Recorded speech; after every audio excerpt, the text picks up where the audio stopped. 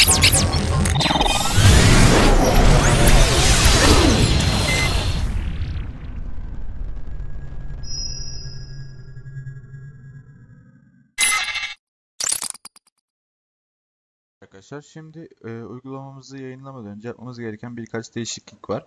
Onlardan bir tanesi ProGuard denilen metot arkadaşlar. Dur Şunu kapatayım. Tekrar nasıl açıldığını göstereceğim size. E, dosyamızdaki tüm log dosyalarını sileceğiz. Tek tek açıp mı sileceğiz? Hayır tek tek açıp silmeyeceğiz. ProGuard denen bir metot var. Onu sileceğiz. Şimdi e, dosyanızı yayınlamak için öncelikle e, Android e, developer.android.com'da e, şöyle Tools'a geldiğimizde buradan Workflow'a tıklıyoruz. Publishing bölümünde oldukça e, dokümantasyon bulacaksınız. E, dosyalarınızı nasıl yayınlayabileceğinizi Google Play'de. Onun haricinde tabii ki birlikte yayınlayacağız. Onun haricinde Android Studio'da yayınlamadan önce log dosyalarımızı silmemiz lazım. Bu sistemi kasıyor. Şimdi e, sistemi kasan bu logları sil, silmemiz için buradan app, app'ten geliyoruz nereye? Build Gradle'a Build Gradle açıyoruz. Bu dosyada bakın Run ProGuard denen, met- ProGuard denen metot var. Buradan burayı e, true e, arkadaşlar. Tabii ki bende true, sizde büyük ihtimal false gözüküyordur. Sizde false gözüküyordur. E, false gözüküyordur. Siz bunu true yapın. Tamam mı? True yapıyoruz.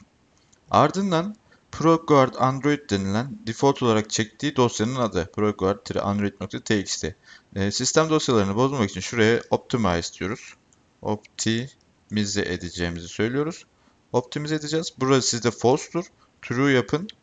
E, ProGuard Android-optimize txt. Tamam. ProGuard rules.pro. Ardından burada değişiklikler yaparak log dosyalarımızı sileceğiz. Nasıl yapacağız onu? Buradan önce yaptığımız değişiklikleri ne yapmamız lazım? Sign denilen e, butona tıklamamız lazım. Değişiklikleri kaydetmek için. Evet. Şuradan Sign'a tıklıyorum. Evet. Aşağıdan evet proses hakkında bilgi alabilirsiniz. ilerleme hakkında. Evet görmüş olduğunuz gibi başarılı bir şekilde bitti Sign.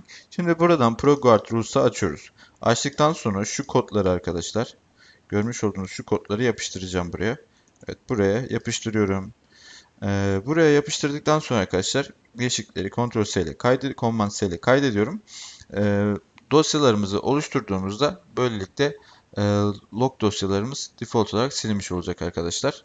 E, bir sonraki dersimizde artık APK'mızı oluşturabiliriz dosyamızın APK her neyse. Bir sonraki dersimizde görüşmek üzere.